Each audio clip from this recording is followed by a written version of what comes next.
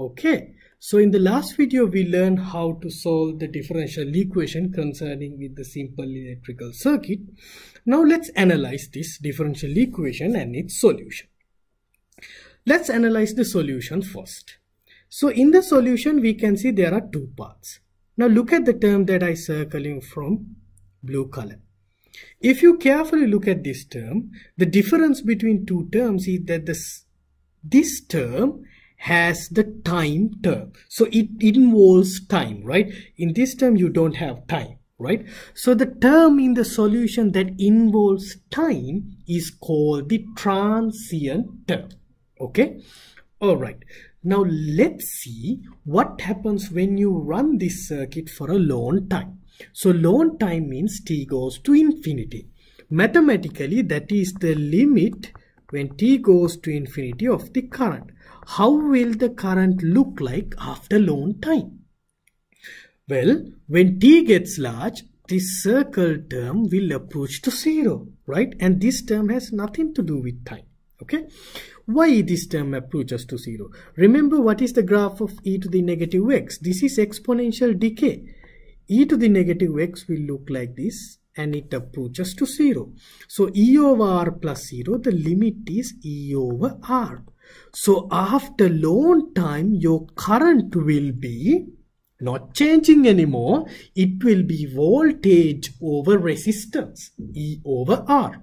Okay, so we call this the steady state. The solution no longer change and it's independent of time. So that is the meaning of steady state solution where the solution doesn't change anymore. Okay, now let's go to the differential equation and find the equilibrium solution. Now I guess you know what I'm coming at. So to find the equilibrium solutions, we take the differential equation di over dt plus ri over L is equal to E over L. So let's rewrite by taking this term to the right hand side E over L minus Ri over L. Now to find the equilibrium solution we make it equal to 0. That means equilibrium solution means the solution should not change. Slopes are 0. Rate of change is 0. So the current will not change. Ideally, that should be the steady state, right? We discussed this in the Newton's cooling law. So when you make it equal to 0, we can see E over L is equal to R I over L. L cancel out. So I is actually E over R. Okay.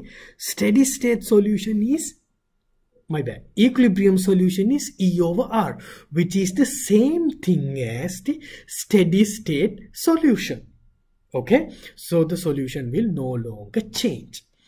Let's look at an example. Here i have given an example where the resistance should be 10 right? So this is a typo.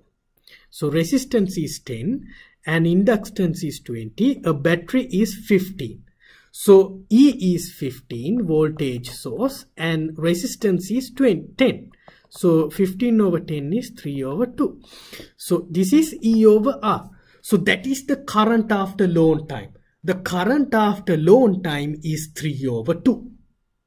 Okay. Alright. So how should the slope look like? So at 3 over 2 you should have horizontal slopes. If you have a current in the beginning of the circuit, in the beginning of the time in the circuit where it's higher than 3 over 2, the current will decay and it will approach to 3 over 2 and will not change anymore. And if you have a current less than 3 over 2, the 3 over 2, the current will increase and approach 3 over 2 and then will not change anymore. So that's the general behavior of what's happening. Okay. All right then. Yeah. Thank you very much.